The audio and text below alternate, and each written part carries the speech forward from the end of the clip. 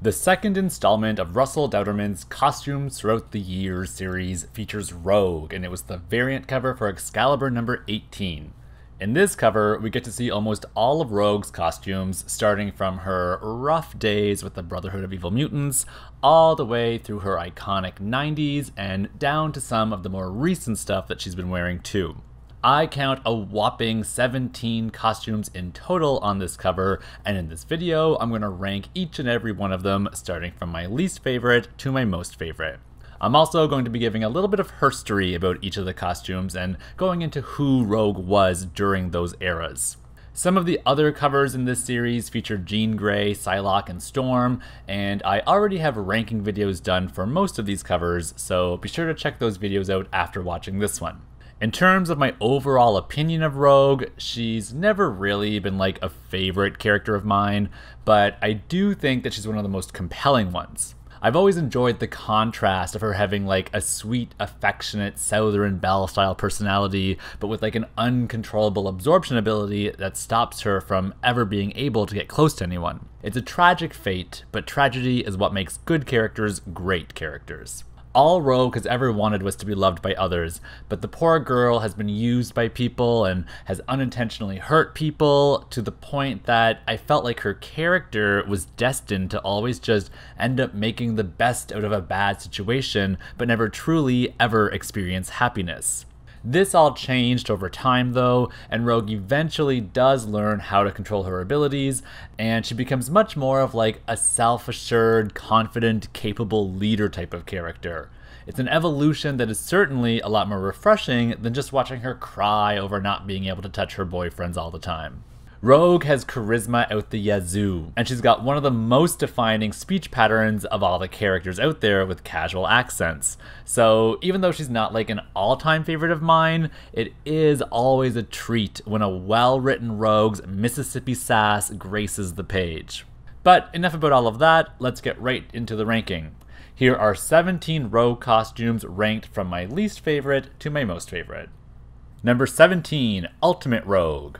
I didn't read much of Ultimate X Men, but from what I've gathered, Rogue had a pretty interesting run in it. Much like her 616 counterpart, the Rogue in this reality was used as a pawn for villainous organizations upon her debut, starting with the Weapon X program and then later with the Brotherhood of Mutant Supremacy.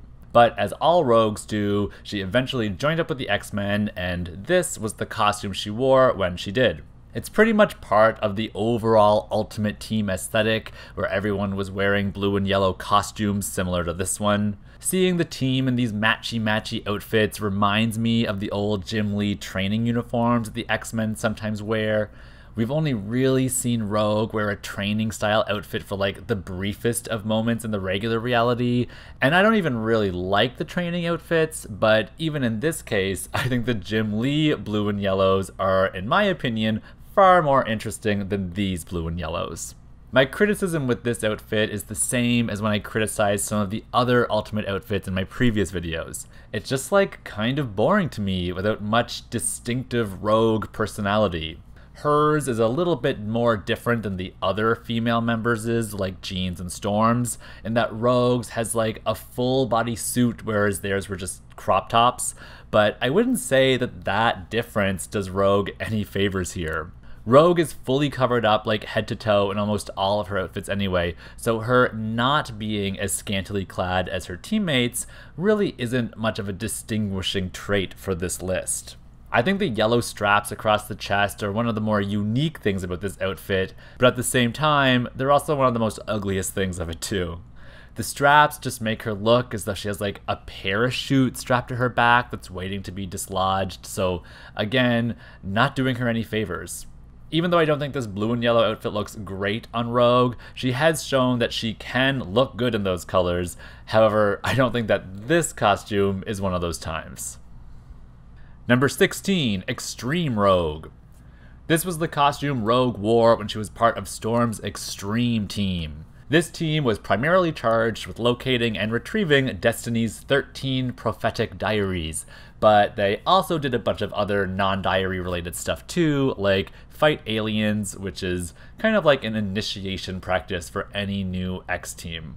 Everyone's costumes were a little bit extra around this time, in my opinion. I can get down with some of them, like Storms is fine and Psylocke is okay, but Rogues is one that I actively do not like. The sleek bodysuit design is fine overall, but every time I look at this, I'm like, is she suiting up to go scuba diving?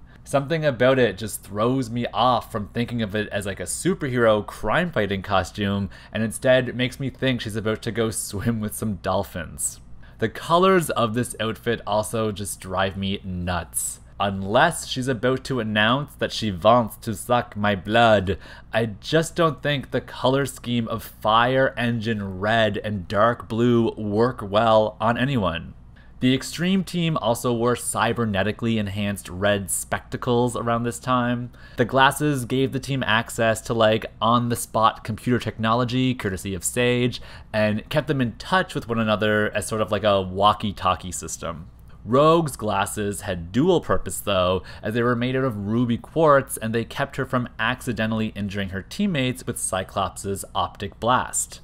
She was able to manifest any power she had previously absorbed around this time thanks to a power boost by Sage, and so these glasses, fashion faux pas that they were, at least had some necessary functional use for her. I liked Rogue in general around this era, and although I thought giving her access to the menagerie of powers within her body was an interesting twist, I also thought it really overpowered her. And unfortunately, nothing is more boring than an overpowered X Man. Her power upgrade didn't last too long though, and she soon lost all of the powers, including her natural absorption abilities, and so she ditched the X-Men and thankfully ditched this costume as well. Number 15, Death Touch. This was the costume Rogue wore when she was the leader of one of the strangest X-Men lineups ever. Cyclops gave her carte blanche to form her own team, and alongside X Men mainstays like Cannonball and Iceman, she also drafted wild cards such as Mystique, Omega Sentinel, Lady Mastermind, and Sabretooth. It was a very weird time, but it all kind of worked because there was inherent conflict within the team this way, and it made for some interesting dynamics. When it comes to this costume, I don't mind it overall, but I just think it's a lot to take in with that giant hooded cape. I love a cape on a superhero, but I much prefer it to be something that billows as opposed to something that just drapes long and heavy, and that's kind of what this one looks like it's doing to her. The green and white bodysuit underneath it is all fine, and she's worn a variation of this in a lot of her other costumes, which I'll get into in a bit. But I just kind of think that this giant blanket that she's wearing as a cape was like an unnecessary addition, and maybe should have been a bit more tailored before she put it on. Rogue's powers took an interesting turn around this era as she developed her Death Touch ability. She was injected with the experimental Strain 88, courtesy of Dr. Pandemic, and it essentially threw Rogue's powers into overdrive, where instead of just temporarily absorbing a person's power and psyche, the slightest touch from her would instantly absorb everything about them and wipe out their existing essence completely, essentially killing them. It was not a fun time for Rogue, and she was forced to absorb 8 billion minds with her augmented power when the Hecatomb came to Earth, and so, needless to say, she went a little bit crazy with all those voices in her head. Even though I don't really care for this costume, I did really like Rogue around this time, and I thought that her death touch was a very interesting way to level up her no contact policy. Number 14, Revolution. The Revolution era was Chris Claremont's return to the X Men after being away from it for like a decade or so, and he shook a lot of things up with the line, starting with giving everyone a totally brand new makeover. I'm lukewarm on a lot of the designs of this era, but Rogue's outfit is probably one of my least disliked ones. I think it really worked for her. It's got her trademark green and yellow colors, and even though that giant X across her chest is a bit ostentatious, I don't really mind the branding too much, and I think that the overall design is complementary to Rogue's usual covered head to toe shtick. This outfit is what Rogue wore during one of her first formal leadership roles within the X Men. She was voted to be team leader during the Revolution era by the other members of the team, even though it didn't seem like it was something that she really wanted to do, and she was more or less forced into it. There wasn't like an election or anything, and she only became the leader by default because everyone else was too busy to do it. So to me, that felt a little bit weird because it kind of felt like the gang was being all, well, you're not our first choice, but you're our only choice, so you're gonna do it. The Revolution era is also when Rogue first began manifesting the powers of all the abilities she had absorbed in the past. This happened because she absorbed a Skrull, and the Skrull DNA mixed with the Kree DNA that she had previously absorbed from Carol Danvers, and it all just created totally adverse reactions with her own DNA. She was initially manifesting these powers totally uncontrollably and at like random times, so it was really chaotic, and it's why she had to eventually give up that leadership role that she won with the X Men. After a period of time, she gained a pretty good measure of control of being able to like call up a random power when she wanted it, but then she got depowered and lost absolutely everything for a while before her natural abilities of absorption eventually reasserted themselves, but this time as like a blank slate. The one thing I really don't like about this design is her hair. I hate her pulled back, limp looking ponytail. Rogue has worn ponytails before, and I'd say she's worn them much more successfully than this one. If she's gonna rock a pony, then it's gotta be a high pony that bounces around when she flies. You know, something with like life and not some dead looking thing that just crawls down the back of her neck looking like a wet swamp rat. Number 13, Utopia. Speaking of ponytails, Rogue also wore one during her time spent on Utopia, and in my opinion, it, and her costume here, was marginally better than her Revolution one. It was like an emerald green with white accents, so none of the colors popped too much over one another, though I will say that I think it was certainly one of her bustier outfits even though it wasn't revealing in the traditional sense, like how, say, an Emma or a Psylocke costume is, she seemed to always have her cleavage super on display, which I thought was funny given that her role on Utopia was as like a counselor to the kids. Even though she could cover up now and again with that scarf that she always wore, it seemed like the girls were always just out on display, and you know what? I'm totally okay with that. Rogue was pretty much the star of the X Men Legacy book during her time on Utopia, and she exhibited complete control over her abilities, doing lots of cool things with other people's powers. She no longer had her Ms. Marvel abilities, so flying and super strength were off the table for her, and it was interesting watching Rogue be less of a powerhouse and showcase more vulnerability physically than we're used to seeing her do. At the very least, being a regular strength person forced her to rely more on those actual mutant abilities of hers, and she used her absorbing abilities more as like a tool and less as a curse, which was what they were to her for so many years. One of my least favorite Rogue panels of all time actually occurred during this Utopia run. I hate it when Rogue absorbs a multitude of powers at one time and chooses to express them all simultaneously. I always think it looks super ugly in the art, even if the intended effect is for it to look cool. She did it here during the Second Coming arc after she simultaneously borrowed the powers of Colossus, Psylocke, Angel, Wolverine, and X-23 in order to fight off Bastion Sentinels. She's done it before in other panels as well, like whenever she borrowed all the powers of the kids and whenever she borrowed all the powers of the Avengers and Uncanny Avengers. But at least in those times, she wasn't necessarily expressing them all simultaneously, and so I didn't mind it as much as this mess. From a story standpoint, sure, it's a great thing to get her to do, but ugh, just looking at it makes me cringe. It reminds me of that Combo Man character from the Marvel ads in the 90s. He was like a joke character who had like all the powers of various Marvel characters, and so stacking Rogue up like this just gives her that Combo Man appeal to me, which is like, ugh, so cringy. Number 12, Brotherhoodie version 2. Rogue wore her Brotherhood jumper both when she was a villain as well as when she was a hero.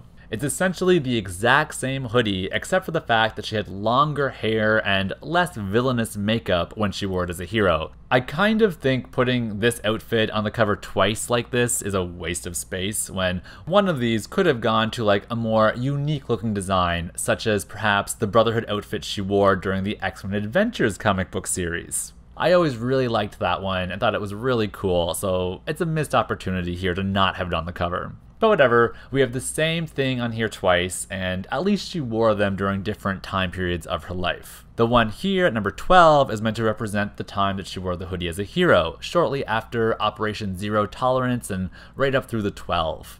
This was kind of like Rogue's heartbreak outfit, as it's what she wore after she found out about Gambit's involvement with the mutant massacre, and she took some time out to sort out her feelings. There wasn't really anything too defining about Rogue during this era, in my opinion, other than her being somewhat caught up in Gambit's drama.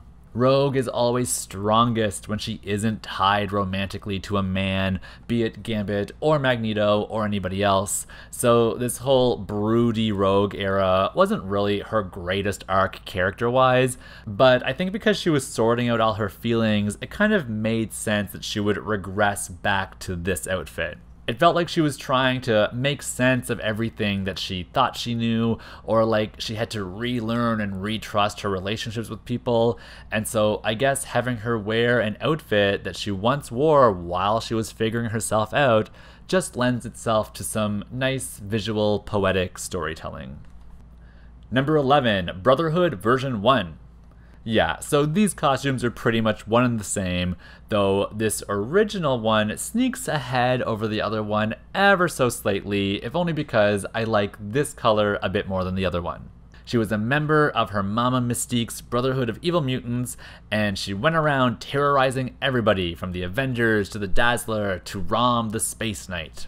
There's an alternate version of this costume that uses a green striping instead of a white striping, and I actually wish that that was the version that was used on this cover instead of this one, because at least then it would have given some more differentiation between these two Brotherhoodie outfits. I think she was only supposed to be like 17 years old while she was a member of Mystique's Brotherhood, but oftentimes it felt like she looked a lot older thanks to the way she caked on her makeup and styled her hair. And I mean, I just thought that was so fantastic. Villainy was not a good look for Rogue, but it was so bad that it was right. This was the outfit that she wore when she ruined Carol Danvers' life by stealing her powers and her memories and her entire psyche, and it was also the costume she was wearing when she ditched Mystique's Brotherhood and showed up at the X-Men's front door looking for Sanctuary. She's done a lot of life-defining things in this outfit, and it's the one that gave her green as her trademark color. It's a pretty simple outfit when it comes down to it, but she wore it during simpler times, and all in all, I have to say it's really not too bad. Number 10, Age of X. Kicking off the top 10 of my Rogue costumes is her Age of X outfit. This was the outfit that she wore when Legion created his pocket universe, and everyone who was on Utopia forgot who they were and were instead given new identities and new histories. They were fighting a fictitious endless war where day after day the humans would try to invade their fortress, and while the mutants would inevitably successfully fend them off, there were the occasional casualties as well. Rogue's main function in this reality was to act as a reservoir of memories of sorts. She would essentially absorb a person's entire psyche as they died so that these people could figuratively live forever within her and thus never be forgotten. Because of this, she was given the codename Legacy, and she wasn't really allowed to participate in any of the battles because the cargo she was carrying inside of herself was way too precious. If anything ever happened to her, then everyone she absorbed would be lost as well. I really like this outfit, and I thought it was one of her better, more functional ones. I really like it when Rogue wears black, and pairing it with her trademark green works surprisingly well in a way that we don't see a lot of these days in her outfits. I think she also looks really militant here, but not in like a super front linesy kind of way. It's like a superhero version of what a war costume would look like. I kind of dissed Rogue wearing a cape earlier when I talked about the Death Touch outfit, but this Age of X costume is an example of a time when I think a cape works well for her. Her unofficial nickname during the story arc was Reaper, so I mean, the cape is obviously a nod to the Grim Reaper reference, but that aside, I think it also just looks really nice aesthetically here because it doesn't gobble her up in the way that the Death Touch robe did. It's more stylish and it has like more life to it, which is ironic given that in this world she's essentially the Angel of Death. Number 9, Shi'ar Rogue. Rogue debuted this outfit during one of the X-Men's many jaunts out into space. The Shi'ar needed the X-Men's help against the Phalanx, and the whole team got the Royal Shi'ar wardrobe treatment, including local reporter Trish Trilby. Rogue's outfit was the only one that really made an impression on me though, as it had like a thin force field around it that let her kind of touch people. Even though she couldn't make actual contact with them, it was still closer than she could usually get to people, and so she kept this outfit for a while after leaving space and used it as her regular crime fighting apparel back on Earth. I have a mega soft spot for the Rogue Shi'ar costume. The purple and yellow combo is unlike anything she's ever worn before color wise, and even though I think it borders on being a bit garish because both of these colors are so bright and Eastery, I do really like this whole thing on her. The pointless accessories like the elbow pads and the shoulder pads and the hip pads are all 90s essentials, and I live and die by them. This costume happened around the mid 90s, right around the time young people like myself were discovering the internet and X Men fan sites were being created all over the place. Even though I wasn't collecting the current monthly issues where Rogue was wearing this costume at the time, I remember seeing it all over the internet on like every website and message board and AltaVista search, and I have a vivid memory of wasting all the magenta ink from my dad's printer by printing an oversized copy of her in this outfit and taping it to my bedroom wall. I just thought it was such a super cool costume, and I was drawn to it, I think, because it was so different for her. But still, I think it looks like it belongs on her, and I wouldn't be mad if this one showed up again someday.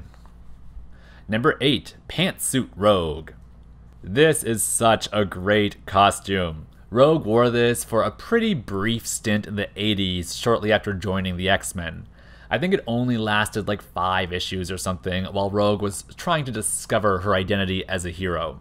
Even though it's hard to call this like a traditional superhero costume, I give it a lot of props for going the fashionable route as opposed to the tights and cape route. I mean, who doesn't love pants and a big belt? But is this outfit practical for fighting supervillains?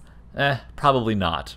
I can understand why it only lasted a few issues, as repairs must have cost her a fortune. It looks like it is something that has been tailored completely out of non-stretch fabric, so even the slightest punch or kick would probably tear a hole right into the seam of it.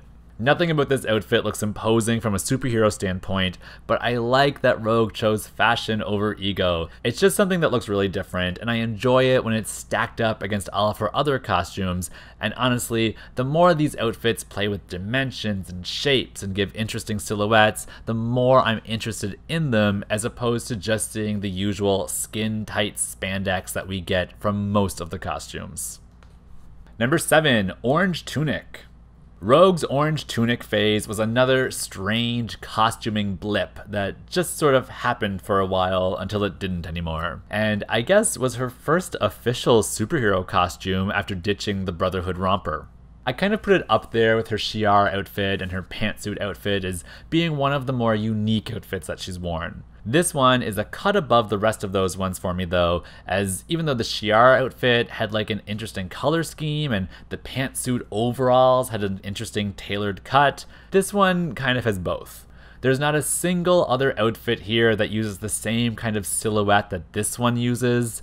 The tunic kind of creates like a webbed wing moment under her arms since I guess the fabric is so bulky that it just like buckles in and over on top of her belt maybe that was useful to her for when she was flying or something. Like maybe it helped capture the winds and soar on them. Kind of like how Spider Man and Spider Woman have those webbed armpits. Maybe it had the same effect. But just like the pantsuit, I think this outfit had too many impracticalities to make it worth wearing. Her wingspan is obviously hindered by the tunic, and it looks like she's only able to extend her arms so far before the entire garment would either ride up or just rip off. I think in the smorgasbord of Rogue's costumes, this one either usually gets totally forgotten about or is reviled amongst most Rogue fans. And at first glance, I totally thought it was horrendous too. But then the more I looked at it, the more I started to appreciate it. And even though orange is so not a rogue centric color by now, I also wouldn't be mad if this tunic just happened to resurface among her other old costumes on Krakoa. Number 6, Muir Island Saga. So, speaking of costumes Rogue only wore for a brief period of time, this Muir Island Saga outfit I think was literally only worn for like one or two issues at max. She wore it shortly after she visited Muir Island on her hunt to find the rest of the X Men after everyone traveled to the Siege Perilous. Unbeknownst to her, the Shadow King had latched his hooks into everyone residing on Muir Island, and he soon latched his hooks into her as well.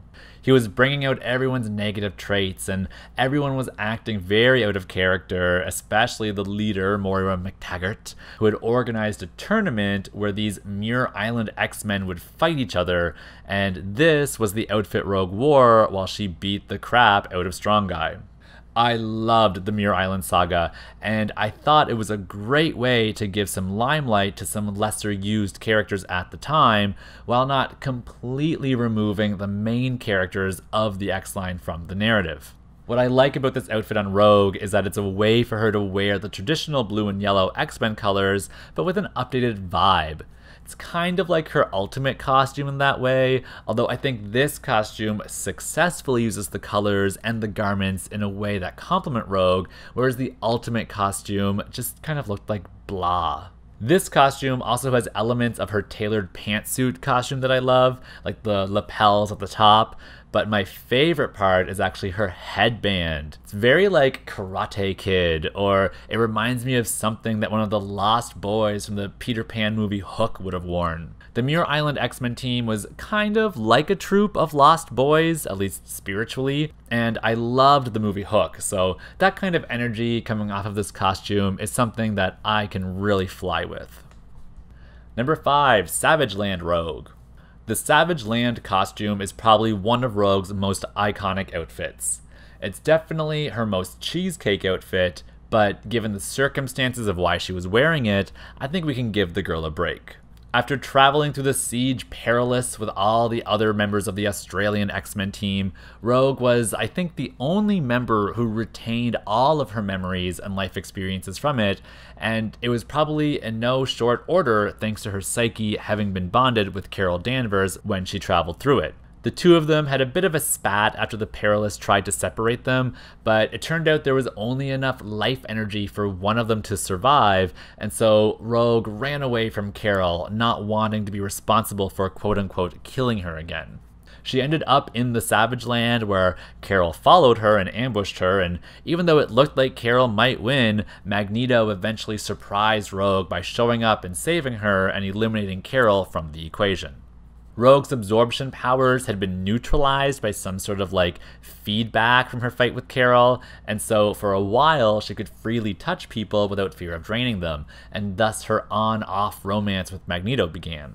The two of them teamed up with Ka-Zar and the local Savage Land tribes to fight off the evil Zaladane and her Savage Land mutates, and they won too, but Magneto's true bloodthirsty colors turned Rogue off from him, and she left the Savage Land shortly after her powers returned. What I like about this costume is that it's Rogue finally being unabashedly free.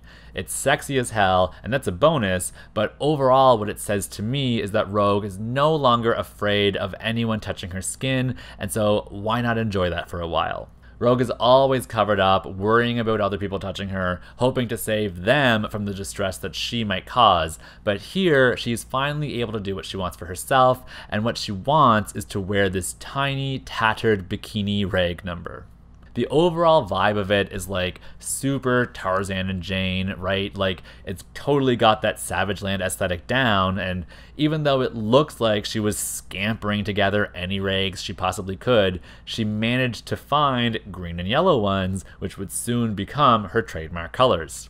This is Rogue's most revealing costume of them all, hands down, but I dare say that it's also her most liberating one. Even if she does fall prey to the male gaze while she's wearing it, I can at least appreciate that there's purpose behind this costume. And I think that her being able to wear something this revealing helped boost her confidence up a whole bunch compared to when she's just forced to wear chin to toe onesies and not express how she really feels through her costuming.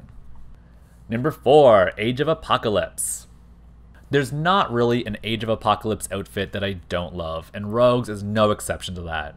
The AOA was an alternate timeline that was created after Professor X's son Legion went back in time to kill Magneto, but accidentally ended up killing Xavier instead. The incident created a splinter world of what would have happened had Xavier not been around to peddle his dream of human and mutant coexistence, and the result was a dystopia ruled by the immortal fist of Apocalypse. In this reality, the X Men were still freedom fighters for the cause, albeit their number was severely diminished and they were led by Magneto instead of Professor X. Rogue was one of the main characters of this reality, but instead of having Ms. Marvel's flight and super strength, she had half of Polaris's magnetism, so she could still fly by levitating herself through manipulating the electromagnetic spectrum, and somehow the magnetism also gave her like a degree of her invulnerability and augmented strength. One of the stark differences here, though, was that Rogue could touch at least one other person without fear of absorbing his psyche. That person was Magneto, and he and Rogue became a romantic item in the AOA, the two of them co leading the X Men, and even having a son together whom they named Charles. I really, really enjoyed Rogue's portrayal during the Age of Apocalypse. I thought she was a badass character and a great leader, and I really liked how she put her family first above all else. Having a family and birthing a child just never feels like anything that could ever come to pass for Rogue in the real world, and this Rogue probably also thought she'd never be able to have a family either before she met Magneto. So when through like a weird quirk of fate she was able to, it made sense that she would feel extremely overprotective of baby Charles and that she'd be damned if if she was going to let anyone take him away from her. In terms of this outfit, I think it's another great example of a cape being worn to full effect. Of all the capes we've seen Rogue wear, this one is most definitely my favorite. It just has the most presence of them all, and I think it's a crying shame that it isn't being added to the recently announced AOA Rogue toy that's coming from Hasbro. The look just feels incomplete without it. One of the best aspects of the cape is the bolted collar neckline that's like there to hold it in place. It and the cape are both references to how Magneto classically wears his cape, and it makes sense that that would be the case since she and Magneto are a thing in this reality. The bolts add like a fun element of industrialism to an otherwise very bright costume.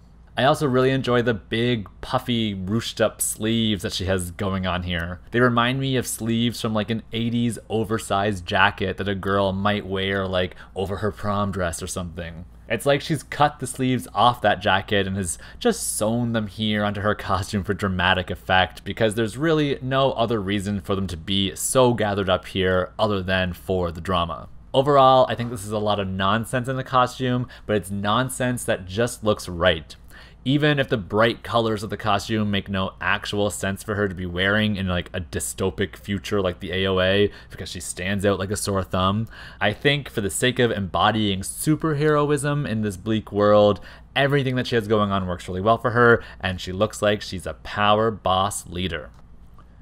Number 3, Outback Rogue. This was the outfit Rogue wore while the X-Men were hiding out in the Australian outback. Roma had just brought the X Men back to life after they sacrificed themselves on live national television in order to stop the adversary during the Fall of the Mutant storyline, and they decided to strategically keep their resurrection a secret from the rest of the world as a means of getting the jump on their enemies, so to speak. You'll hear me say this all the time, but the Outback was my absolute favorite era of all my favorite X Men eras, so I'm hard pressed to ever diss anything that happened during those days. One of the most interesting things to happen with Rogue during this era was that she and the Carol Danvers persona inside of her kind of had come to terms with one another in terms of like sharing Rogue's body. Rogue obviously felt super guilty about everything that she did to Carol, and now with Carol finally reasserting herself, it only seemed reasonable that the two of them should have equal measure of living life, even if they did have to share the body. I don't think either of them particularly enjoyed doing this though, and it was a pretty short lived alliance before the two of them eventually fought for body supremacy. But I still thought it was a really interesting plot point while it happened. What probably irked Rogue the most was that Carol was actually able to control Rogue's mutant abilities and touch people with her bare skin when she was in control of the body, whereas Rogue still could not. I can only imagine how extremely frustrating that must have been for her, but at the very least, it did show Rogue that her mutant power is actually controllable if only Rogue could figure out how to do it. This is one of those costumes where I really like Rogue wearing black as a co-dominant color. I personally really like the black and green, just like the Age of X costume, and I think it gives her kind of like a female wrestler vibe just by the choices of which aspects of this costume are green and which ones are black. Even though it's a pretty simple costume when you look at the sum of its parts, I like the way the boots and the opera gloves are all kept really long as to cover up her skin and keep her cut off from people's touch that is kind of Rogue's thing after all, and so like most of her costumes, it's also reflected in this one. But here, I just find it to be a lot more striking, and I think it is because of the black and green color combination. It just pops really well. And I mean, look at this hair. So big, so bountiful. It's like double the size it usually is. It looks like a heavy mane for an otherwise petite girl, and I respect Rogue for giving us the volume of our dreams. Number 2, Aerobics Rogue. This is the period of time when Rogue started to really have a lot of fun with her costuming. She ditched the orange tunic and the tailored pantsuit and picked up a black bodysuit instead and just went ham with the accessories. Sometimes she'd be wearing a crop top and belt bottoms, other times it'd be an off the shoulder t shirt and a bikini bottom. You never really knew how she was going to dress day to day. I'd say this rogue was kind of her at her punkiest with the X Squad. She was a full fledged member by this point and was finding purpose with the team and feeling trusted enough to be able to express herself in fun ways, like this costume. One of the best storylines to come from Rogue during this era was when Dazzler joined the team. Dazzler did not trust Rogue at all as they had butted heads back when Rogue was a member of the Brotherhood and she almost killed Dazzler. Alison had been seen to be using the Danger Room to hone her skills and she actually programmed the room to use a visual of Rogue as the antagonizing force for her workouts. Rogue was not too happy about this when she found out. The two of them came to actual blows over it, but honestly, it felt like that's what needed to happen for these two before they could finally find peace with each other and learn to behave as co-workers, if not necessarily just as friends yet. What I like most about this costume is how casual but trendy it looks. I think it's pure 80s the way she just layers accessory after accessory over top of that black onesie, but I think that alternative 80s style is actually something that Rogue excels at. A lot of her greatest costumes, according to me, have a sort of 80s look and feel to them, so it's no surprise that I would find this one great as well. It's probably her most 80s, right down to the aerobics instructor feel of it, but I mean, if it works, it works, and I think this costume most definitely worked. Number 1, 90s Rogue. As much as it kills me to pick the most obvious possible choice for number one, I can't deny that the classic 90s rogue look that she's most well known for is also probably my favorite of the bunch. It's definitely the costume that defined her for like an entire generation, and even though the 80s were paramount to her character development, she never really found her voice until the team split up into blue and gold, which was when this costume debuted. There's an argument to be made that this wasn't really Rogue's limelight period because she was so enraptured in Gambit for pretty much all of it that her chasing that relationship overshadowed any actual time getting to know her. And I see the value in that argument, but I don't totally agree with it. I do think that Rogue spent a lot of the 90s pining over Remy, but I think that through her relationship with Gambit, we really got to explore a lot of Rogue's inner workings. It was the only time she was ever really vulnerable with someone romantically like that, and it let us see a lot of different sides of Rogue. Up till this point, the only things that we really knew about her was that she was like super guarded and that she kept people at a distance because of the uncontrollable nature of her powers, which is totally fair and valid. But now she was also happy and joyful, and while still unable to experience everything that she wanted to experience, she was in the midst of discovering a side of herself that she had never been able to explore before. I really like their relationship, and I think it's especially interesting because of how volatile it is. But her romance with Gambit aside, I also just think that this costume nails who Rogue is. Honestly, pretty simple, just another bodysuit with a belt and a jacket over top, but Rogue is a simple gal, and anything too ornate wouldn't feel authentic to her. In this instance, I think it's the color design that really sells the garment. She's worn a lot of bodysuits, but something about these earthy greens and yellows just really make this one pop. I think it's also because she's got that big, bountiful, curly hair going on, and yes, even the undersized bomber jacket, which was all the rage for some teams in the 90s, really adds the final touch in bringing this all together. It's an iconic costume, and it has sort of like an ever fashionableness to it. It's like it's plain enough so that if it's needed to, it can pass off as a modern day outfit and it's not going to stand out like something that was clearly a product of its time, like what some of the other iconic superhero costumes ultimately end up looking like. All in all, I think it's the best costume that Rogue's ever worn, even if it did already have the popular vote even before I chimed in about it. So that's it for this video. I wouldn't say that Rogue has had the most varied costumes of all the X costumes out there, but there are definitely some hits and misses within them. Let me know if you think I nailed it with this list, or if you would have chosen a different order of things. I'm always curious to read what others think, so please leave a comment or two about your thoughts on Rogue's wardrobe choices. If you like this video, you can check out my other costume ranking videos, or browse around my channel for a collection of other varied X videos, where it's all X-Men all the time. I want to thank you for stopping by and checking this video out today, and I welcome you to come back again soon for more great X-Mentations.